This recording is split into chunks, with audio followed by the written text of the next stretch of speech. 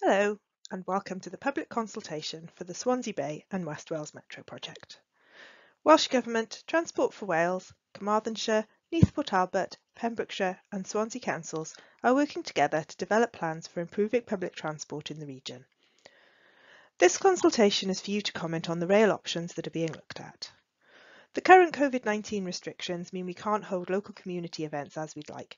However, we hope you still find this presentation and online questionnaire useful. What is Metro? There's a Metro programme across Wales which is developing regional integrated public transport systems. Metro plans are being developed for North Wales and South Wales, and plans are being developed for Swansea Bay and West Wales Metro too. The idea is that different transport modes such as rail, bus and active travel, walking and cycling, can create an integrated transport network. The plans are all about making it easier to travel by public transport. It's about making it easier to get to work or school, to get to your hospital appointment, or to get out and about in the evenings and weekends. The area being looked at for this study includes the counties of Carmarthenshire, Neath Port Talbot, Pembrokeshire and Swansea. The map shows these along with the existing rail network. Existing rail services include a combination of long distance and more local services. There is an hourly service from London to Swansea, with some services extending to Carmarthen. Hourly services also operate from Manchester to Carmarthen, with every other train extended to Milford Haven. The Heart of Wales line sees four trains per day between Swansea and Shrewsbury, with an additional train from Swansea to Llandovery. Services also operate from Swansea to Pembroke Dock every two hours, and seven trains a day travel from Swansea to Fishguard Harbour. There are also local services from Cardiff to Swansea, although these are less than every two hours. The abbreviation TPH in the diagram means trains per hour, so 1 TPH is an hourly service and 0.5 TPH is a two-hourly service. Previous work has identified the need for service improvements to address several issues with the current rail services. These include the fact that rail journeys, particularly from West Wales, take a lot longer than car journeys. There are limited long distance through train services from West Wales. There are also low frequencies of trains on both the West Wales branches and of direct trains to Swansea from the east. Services are not considered particularly useful for commuting into Swansea as times and frequencies don't suit working hours. These are some of the issues that the Swansea Bay and West Wales Metro aims to address. The Swansea Bay and West Wales Metro work is being carried out in line with the current Welsh Transport Appraisal Guidance, commonly referred to as WELTAG.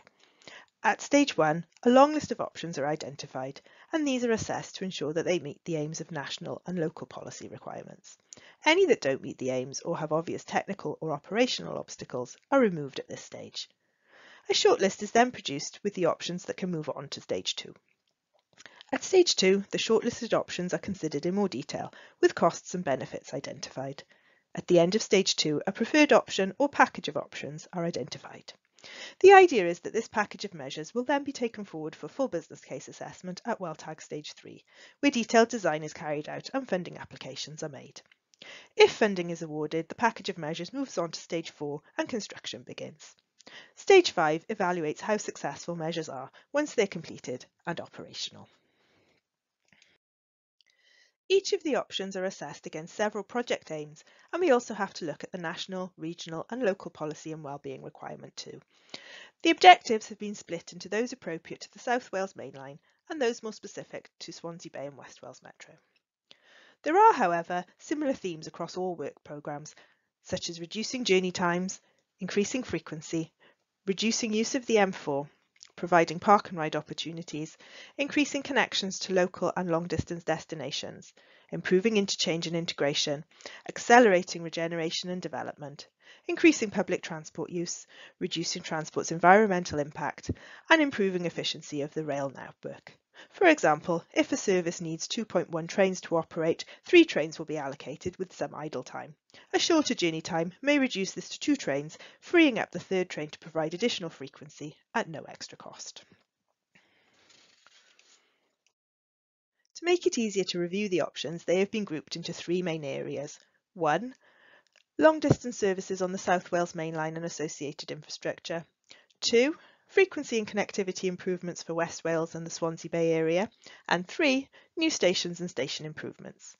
Options in each of these categories will now be discussed in a little more detail. The options that have been identified for long distance services are Option 1, which would see services from London Paddington which currently terminate at Cardiff extended to Swansea to provide a half-hourly service. Option 2, which would extend the existing hourly Taunton, Bristol, Temple Meads, Cardiff service to Carmarthen or Milford Haven. This could be via Swansea or using the Swansea District line and could be provided with or without a new West Wales Parkway station at Felindre. Option 3, which would extend the one London to Carmarthen train a day to either Haverfordwest or Milford Haven. Option 4, which considers a new service from Milford Haven to Bristol with trains every two hours. Option 5, which reviews the potential Grand Union Trains open access application, which would initially provide two trains a day from London to Cardiff, but could be extended to Carmarthen in future with up to six trains. Option 6, which reviews line speeds on the South Wales Main Line west of Cardiff. This would have no impact on frequency, but has the potential to speed up journeys. And option 26, which looks at the opportunity to fully electrify the Swansea Bay and West Wales Metro. Again, this would not necessarily impact on frequency, but would reduce the environmental impact of services and speed up journeys. The service diagram summarises the potential pattern of future rail services resulting from the options we've talked about. None of these options are direct alternatives and could potentially be provided together as a package, subject to timetable and infrastructure capacity constraints. The options identified for regional West Wales frequency and connectivity are Option 7, which would provide a local service between Swansea or Carmarthen and Milford Haven every two hours. This would sit in the alternate time slot to the existing Manchester Milford Haven trains, providing an hourly service overall on the branch. Option 8, which would extend the Manchester services which currently terminate at Carmarthen to provide an hourly service to Milford Haven. Option 9, which introduces additional trains between Swansea and Pembroke Dock, which would run in alternate hours to the current service and provide an hourly service overall. Option 10, which considered extending the existing two-hourly Manchester to Carmarthen service to Pembroke Dock, which in combination with the existing two-hourly Swansea to Pembroke Dock trains gives an hourly frequency. This option does have timetabling difficulties as it is not possible to get back to the South Wales Main Line in time to retain the current time slot back to Manchester. Option 11, which would reconfigure the current Swansea to Fishguard Harbour services to an even two-hourly pattern and add two trains a day to ensure services run throughout the full day. Option 27, which looks at providing additional trains at two-hourly intervals between Swansea and Cardiff or Bridgend to provide an hourly service overall. Option 28, which would see an additional service on the southern end of the Heart of Wales line. This is in addition to the extra train that Transport for Wales have already committed to providing. The daily frequency would then be five trains from Swansea to Shrewsbury and two trains to Llandovery. The options are illustrated on this diagram. In reality, a number of these options could be included in a package to improve the services in West Wales. Options 7 and 8 are direct alternatives. Options 9 and 10 are also alternatives, but option 10 may not be viable due to timetabling issues.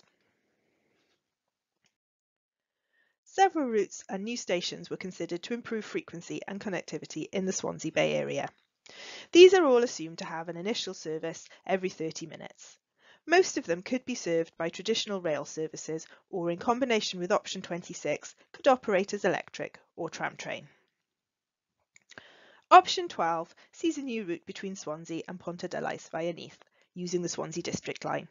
This has several new stations that could potentially be provided, including Llandarcy, option 22, Landore, option 23, Winchwen, option 24A, Morriston, option 24B, Velindre, option 24C, Penllergaer or Penllew, options 24D1 or 24D2. It would also stop at the existing Skewen and Llansamlet stations. Additional infrastructure is required to connect the Swansea District line to the South Wales Main Line at Cwrt Sart to allow all movements at this junction.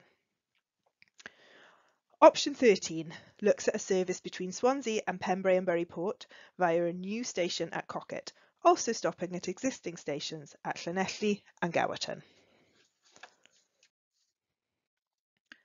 Option 14 would provide new track at Llandeilo Junction to connect the South Wales Main Line with the Swansea District Line, which would allow the service from Swansea to the Heart of Wales line to avoid Llanelli and take a more direct and quicker route.